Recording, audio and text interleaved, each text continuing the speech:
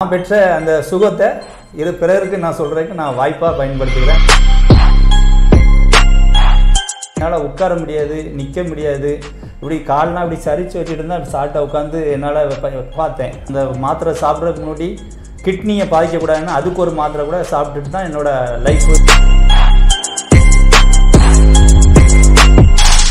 லோக்கலில் உள்ள பெரிய பெரிய டாக்டர்லாம் திருநெல்வேலியில் ஃபுல்லாக பார்க்காத டாக்டர் கிடையாது. எங்கள் வீட்டம்மா ஜிஹெச் இருக்கிறதுனால அவங்களோட லைஃப் பழைய மாதிரி மாறணும்னா சர்ஜரி தான். வேறு வழியே கிடையாதுட்டாங்க அப்படி சர்ஜரி பண்ணி நிறைய கேஸ் வந்து ஃபெயிலியர் ஆகுது அதை நான் கண் மாதா பாய்லர் சிக்கன் வரைக்கும் என்னோட வாழ்க்கை வந்திருக்கு. ஆனால் இங்கே ஒரு கிளினிக் இருக்கிறதே எனக்கு தெரியாது. வந்த புதுசில் ஒரு வாய் தான் வைப்பேன்.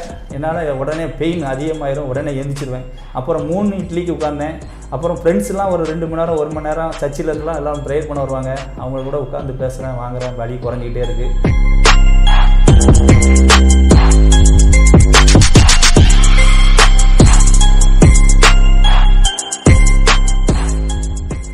வணக்கம் நான் டாக்டர் மெல்வின் நம்ம டயன் சித்த மருத்துவமனையில் பேக் பெயினுக்கு ஒரு நல்ல ட்ரீட்மெண்ட் கொடுத்துட்ருக்கோம் அப்படிங்கிறது நம்ம எல்லாருக்குமே தெரியும்.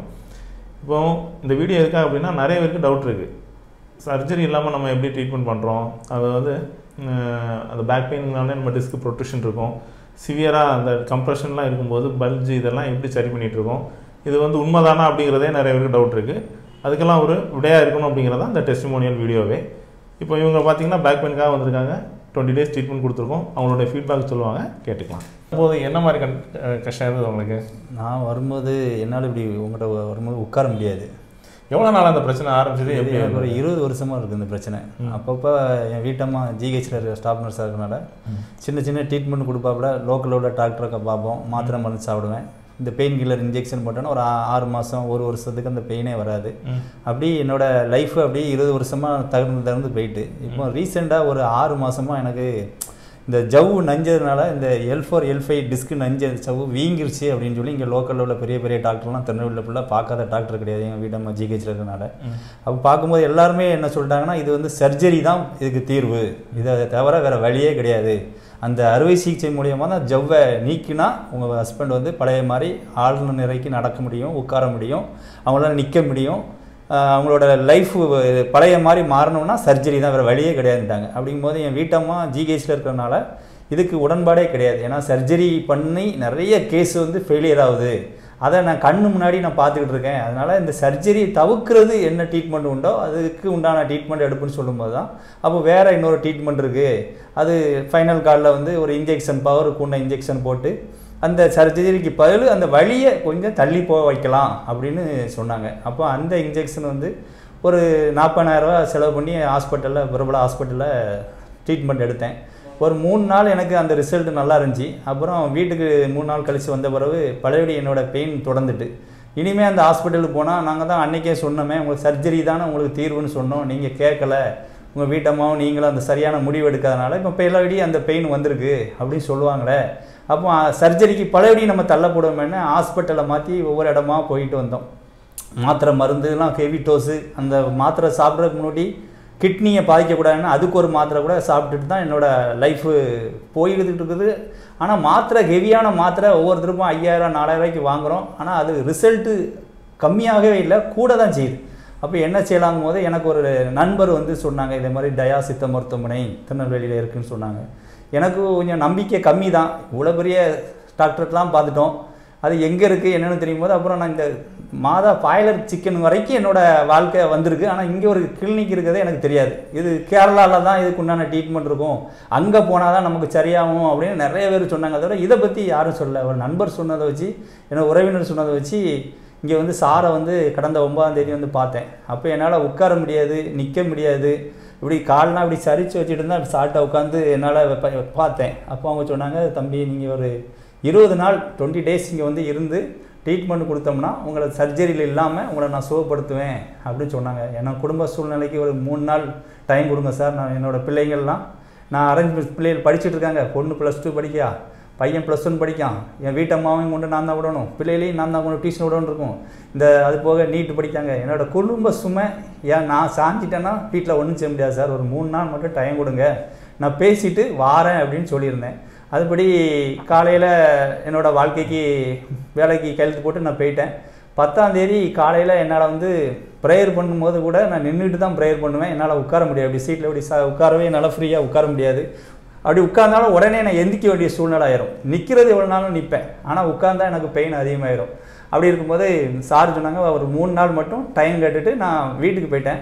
பத்தாம் தேதி ப்ரேயர் பண்ணிவிட்டு ப்ரேயர் கூட என்னால் உட்காந்து முட்டு போட ஜெபம் பண்ண முடியாது. நின்றுக்கிட்டு தான் ஆண்டவர் பார்த்து ஜெபம் பண்ணிட்டு படுத்திருக்கேன். பதினோராம் பத்தாம் தேதி காலையில் என்னால் எந்திக்க இந்த கால் ரைட் சைடு காலு எடுத்தே வைக்க முடியல. ஒரு ஸ்டெப்பு கூட என்னால் எடுத்து வைக்க முடியல. அப்போ உடனே சாருக்கு ஃபோன் அடித்து அவங்க இன்டர்காம் நம்பருக்கு அடிக்கும்போது அன்னைக்குன்னு பார்த்து சாரே என்னோட நம்பரை எடுத்தாங்க. அப்படின்னு சொன்னேன் இதை மாதிரி எனக்கு L four L five disc நினைஞ்சிருக்கு நான் இங்கே லோக்கலில் எல்லா டாக்டரையும் பார்த்தேன். அப்படின்னு சொல்லும்போது அந்த ரிப்போர்ட்டெல்லாம் எடுத்துகிட்டு வாங்க. நாம் கன்சல்ட் பண்ணி பார்ப்போம் அப்படின்னு சொன்னாங்க. உடனே வந்து பார்த்தேன். அதுக்கப்புறம் இங்கே இருபது நாள் இங்கே ட்ரீட்மெண்ட் போய்கிட்டு இருந்துச்சு.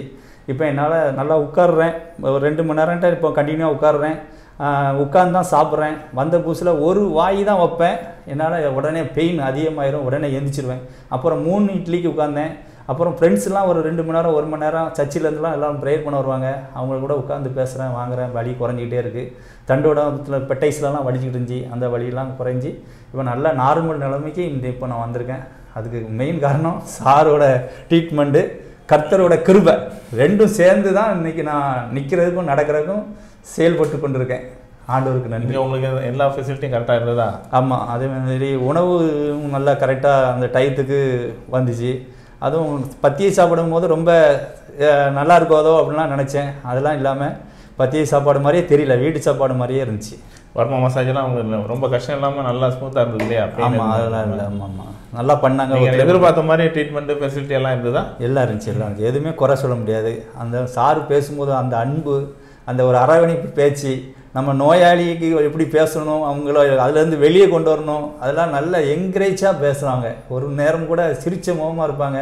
நம்ம என்ன சொன்னாலும் அதுக்குண்டான உடனே உடனே அதுக்குண்டான ட்ரீட்மெண்ட்டு அதெல்லாம் ஒரு இன்டர்காம் நம்பர் ஒன்று கொடுத்துருக்காங்க. நான் நான் அன்டயத்தில் பெயின் அதிகமாக இருந்துச்சுன்னா உடனே அந்த ரிங்கு கட்டாரக்குள்ளே எடுத்து அதுக்குண்டான உடனே ஆள் வந்து என் ரூமை வந்து தட்டி அந்த ட்ரீட்மெண்ட்டை உடனே என்னை ரிலாக்ஸாக தூங்க வைக்கிறதுக்கும் ஒரு நல்ல ஒரு இதாக இருந்துச்சு.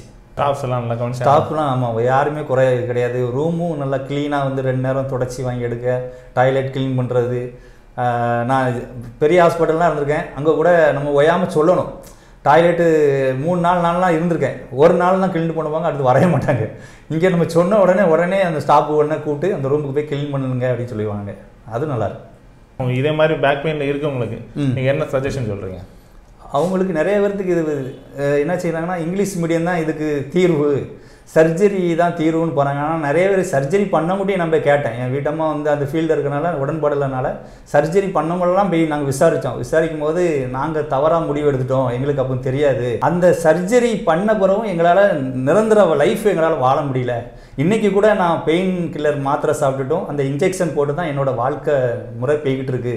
நீங்கள் எடுத்த முடிவு சரியான முடிவுன்னு என்னோடய ரிலேஷன் என் கூட பணிபுரியறவங்களாம் ச சொல்கிறாங்க பேக் பெயினாக இருந்தால் தாராளமாக நீங்கள் டயவன் சித்த மருத்துவமனை ரெஃபர் பண்ணுவீங்க இல்லையா? கண்டிப்பாக கண்டிப்பாக அதனால இந்த பேட்டியை கொடுக்கேன் நான் வந்து எப்படி இயேசுவை பற்றி அநேகரிடம் சொல்கிற மாதிரி நான் பெற்ற அந்த சுகத்தை இது பிறருக்கு நான் சொல்கிறதுக்கு நான் வாய்ப்பாக பயன்படுத்திக்கிறேன். சாருக்கும் ரொம்ப நன்றி சொல்கிறேன் இப்போ நம்ம பார்த்தோம் இல்லையா? அவர் சொல்கிற சிம்டம்ஸ் எல்லாமே எதனால் அப்படின்னு பார்த்தோம்னா L four L five L five S one இதுதான் அவருடைய மாதிரி ரிப்போர்ட்டு இதில் டிஸ்க் ப்ரொட்ரூஷன் துண்டாக தெரியும் உங்களுக்கு எல் ஃபோர் எல் ஃபைவ்ல அந்த ப்ரொட்ரூஷன் ஆகி இதுதான் ஸ்பைனல் கார்டு அதை போய் அழுத்திட்டு இருக்குது.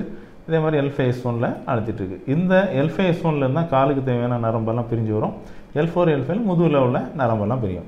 ஸோ இந்த கம்ப்ரஷன் இருந்தால் முதுகில் மட்டும் வலிக்கும். எல்ஃபைஎஸ் எஸ் ஒன்ல இருந்தால் கால் வலி கால் வர பரவும். இது லெஃப்ட் ரைட்டு எந்த இடத்துல அழுத்துதோ அதை பொறுத்து வலது காலா இடது காலா அப்படிங்கிறது டிட்டர்மைன் ஆகும். இப்போ அவருக்கு வலது காலில் தான் அந்த இழு ஃபுல்லாக இருந்தது. எஸ்எல்ஆர் வந்து பாசிட்டிவ் அதாவது சயட்டிக்கா நம்ம இதில் ரொம்ப கம்ப்ரெஷன் இருக்கும்போது அவரை காலை கொஞ்சம் ரைஸ் பண்ண சொன்னால் வலி சிவியராக இருக்கும் ஸோ அவருக்கு எஸ்எல்ஆர் சொல்லக்கூடிய அந்த சயட்டிக்காவோட டெஸ்ட்டு பாசிட்டிவாக தான் இருந்தது. ஸோ நம்ம அதுக்கான ட்ரீட்மெண்ட் கொடுக்கும்போது என்ன மாதிரி அளவில் பண்ணுவாங்கன்னா அப்படின்னா சர்ஜரி இந்த பல்ஜாகி ப்ரொட்ரூட் ஆகிறத கட் பண்ணி எடுப்பாங்க. நம்மளுடைய வர் வர்ம மருத்துவத்தில் இந்த ப்ரொட்ரூடாக இருக்கிறத நம்ம பழைய நிலைமை கொண்டு வரணும். இதில் இன்ஃப்ளமேஷன் ஆகிருக்கும். வாத நீர் அடிச்சிருக்குன்னு கொலைக்கெல்லாம் சொல்லுவோம் இல்லையா? அந்த வாத நீரெல்லாம் ரிமூவ் பண்ணதுக்காக தான் பத்தியமாக மருந்து கொடுத்து அந்த இன்ஃப்ளமேஷன் எல்லாம் நம்ம ரிமூவ் பண்ணுவோம். இந்த டிஸ்கை பழைய நிலைமை கொண்டு வரதான் வர்மா ட்ரீட்மெண்ட் இதில் நம்ம கம்பைண்டாக பல டெக்னிக்ஸை யூஸ் பண்ணுவோம். அதுக்கு தான் நம்ம டுவெண்ட்டி டேஸ் டைம் கேட்குறது முதல்லேருந்து ஸ்டெப் பை ஸ்டெப்பாக கொண்டு வந்து சிவியர் கண்டிஷனில் இருக்கிறதுக்கு நம்ம ட்ரீட்மெண்ட் கொடுக்கும்போது இந்த பிரச்சனை இருக்காது. அவரால் சாதாரணமாக உட்காரலாம் நடக்கலாம் எந்த வேலையும் செய்யலாம். ஏன்னா அவர் பழையபடி அவர் லைஃப்பை லீட் பண்ணலாம். ஏன்னு எடுத்துக்கிட்டால் நம்ம இருபது நாள் இங்கே ட்ரீட்மெண்ட் எடுக்கும்போது மட்டும்தான் பத்தியமே தவிர அவங்க டிஸ்சார்ஜ் என்ன பண்ணுறோம் எந்த பற்றியமும் தேவையில்லை. இது நம்ம பூஸ்டிங் டோஸ் மாதிரி சில மருந்துகள் மட்டும் நம்ம முப்பது நாள் எடுக்கிற மாதிரி அவங்களுக்கு கொடுத்துருப்போம். அதுக்கப்புறம் லைஃப் லாங் மெடிசன் இருக்கணுமா அப்படின்னா கிடையாது. ஏன்னா நம்மகிட்ட பெயின் கில்லர்ஸ் கிடையாது. இந்த ப்ரொட்ரூஷனை சரி பண்ணிட்டோம்னாலே அதுக்கப்புறம் மருந்து எதுவுமே தேவைப்படாது. அவங்க நார்மல் லைஃப்பை லீட் பண்ணலாம். எந்த பிரச்சனையும் இல்லை. இந்த வீடியோலாம் எதுக்காக அப்படின்னா நிறைய பேருக்கு டவுட் இருக்குது இது உண்மையா? சர்ஜரி இல்லாமல் பண்ணலாமா?